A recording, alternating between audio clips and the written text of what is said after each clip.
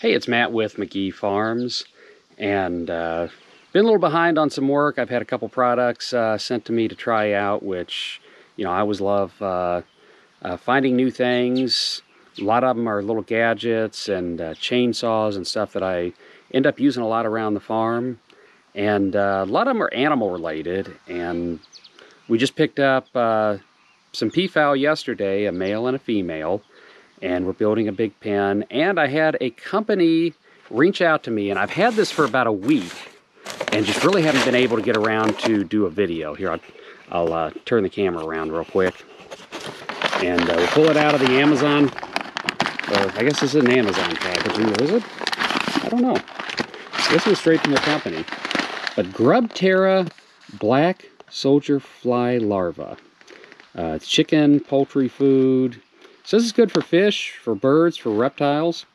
And uh, got an email from them just uh, oh, a couple weeks back. Said, hey, would you be interested in trying this? Uh, all we ask is uh, you make a video and give us your honest opinion.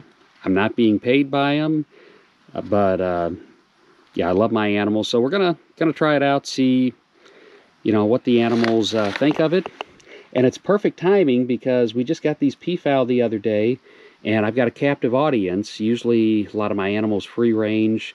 When I first get birds in at the farm, I keep them locked up for about a week or two to make sure they're always going in the coop at night. And we've been having a, having a big predator problem this summer. I think we finally got it taken care of. But since we lost our uh, one peacock we'd had forever, which raccoons rarely get peacocks, uh, we're building a huge enclosure, which hopefully by the end of this week should have it at least the enclosure done. We still got to build the housing in there and all that, and uh, uh, but enough that we'll be able to kind of move them in, get them some shade in there, and go from there. But while I got them pinned up, we're going to see what they think of this. Also, uh, got a couple of turtles that are pets. The uh, cage is due to be cleaned, so you know, bear with me. It's it's a little dirty, but I haven't fed them yet today. I usually feed them about this time of the morning. So we're going to see what the turtles think of this, and then we'll go and see what the birds think of it. All right, so this is my turtle tank in the house. And uh, it's due for cleaning about every three months. We take it out and clean it real good for them. You see the little guys in there. There's two of them. These were actually ones that were in a swimming pool that we were getting ready to open up for the year and stock real heavy, and we happened to see them. They were about the size of a dime, and we've had about 10 years. But uh, we're going to drop a little bit of this in. Hey, buddy.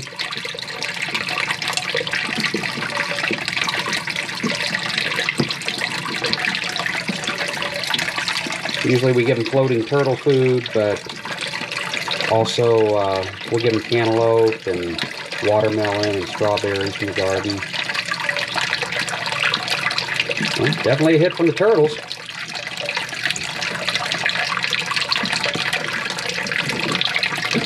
Oh, here comes the other one. I think he just realized. Uh...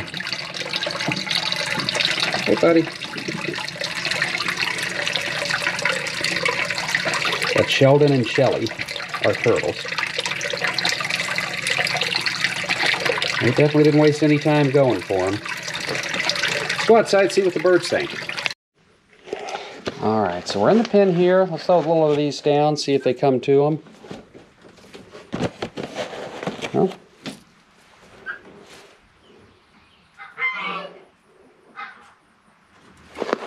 One chicken's found them. A few more. Oh, here we go. What do you guys think?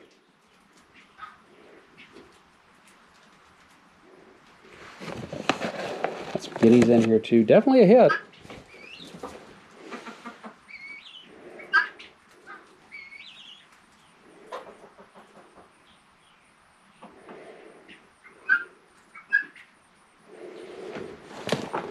I'll do my latch here.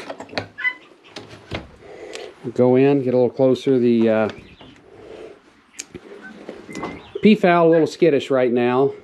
Uh, I mean, they'll actually kind of go up, let you kind of pet them on the back a little bit, but they're uh, they just came in, had the whole transition, so take some of this out and toss it to them. Hey guys, hey, hey.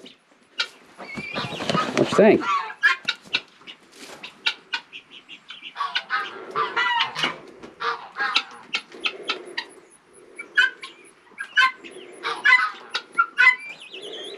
Are you guys still a little, uh, little freaked out from your uh, move?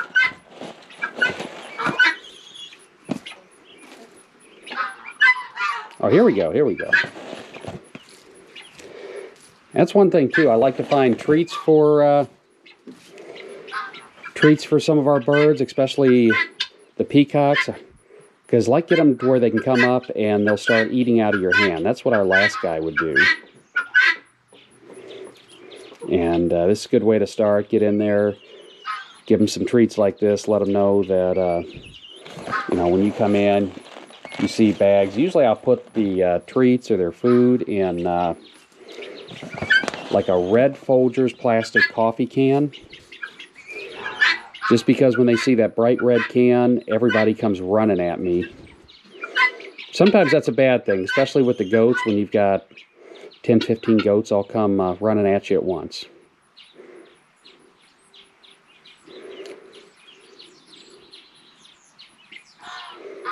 And now they're starting to warm up to that a little bit.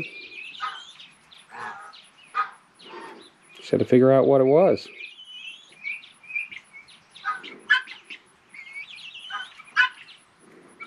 So definitely an inst instant hit with the turtles. Took a little warming up for the peacocks, but peafowl, but again, like I said, they just had a uh, hour-long drive in the back of a pickup last night in a new home, so it's going to take them a little bit, but it looks like now they, uh, well, looks like he likes them.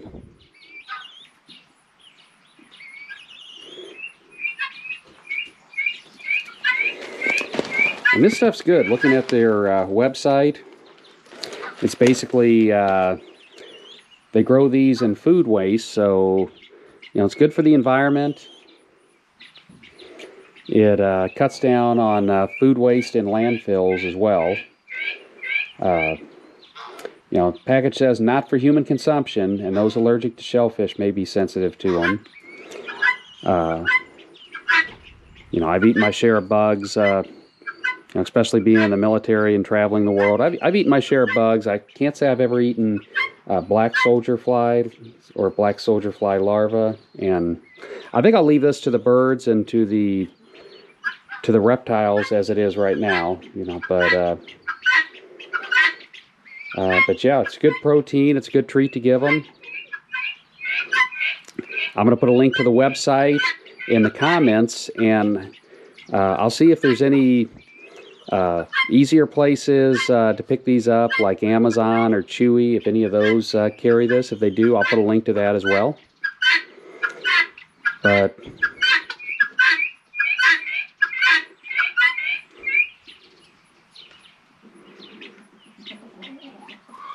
But yeah, I think I found a new treat for the for them. Here you go, guys. Some more? It's Matt from Magee Farms. If you like the videos, please consider uh, giving us a thumbs up, like the video, subscribe to the channel, leaving us a comment. If you got questions about anything that I ever do or any projects that uh, I got going on, things I'm reviewing, leave me a comment or the email for Magee Farms is in the About section of our page. I always try to answer any comments that have questions in them or any emails, and I'm always uh, always love uh, hearing feedback. Till next time, have a great morning, afternoon, evening, wherever you're uh, watching this from, whatever time it is. Till next time, it's Matt from Magee Farms.